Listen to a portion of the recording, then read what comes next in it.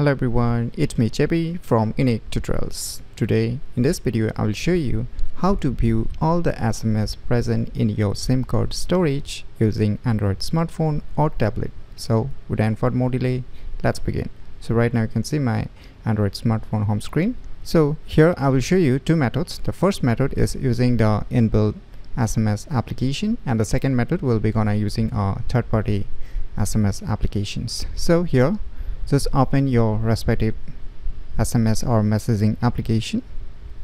And if you're using a Samsung then on the messaging app you can see one three dot icons on the right side. Just tap on it.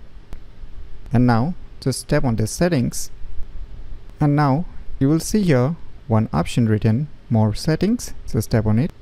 And now you will see the first option text messages. Just tap on it.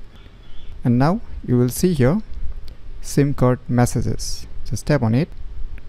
Now you can see all the SMS present or stored in your SIM card storage. So when you can edit it, just by tapping on edit, you can select it or you can select all or you can delete or copy it to your phone also. So this is the first method and the second method if your default messaging or SMS application does not have these options then just go to the Play Store and just search for one application named as messages by Google. And on the first list you will see the application and tap on install to install this application. So once the installation is done just tap on open. Now just tap on this use message without an account. And now it's asking to set a default SMS app. So if you're using a different SMS application then just set this messages by Google application as default now select the messages. Click on set as default now on the right top corner you can see one profile like icon. Just tap on it. Now here you will see messages settings option. Just tap on it.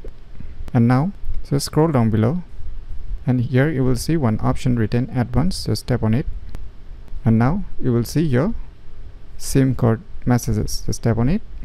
Now it will open or view all the sms that is being present in your SIM card storage. You can just tap and hold in order to delete this messages. So these are the two ways by which you can view all the SMS present in your SIM card storage using Android smartphone or tablet very easily. So if you never known about these cool tricks then you should definitely give it a try. So if you find this video tutorial useful please click on the thumbs like button and if you're new to our channel click on the subscribe button and lastly thanks for watching.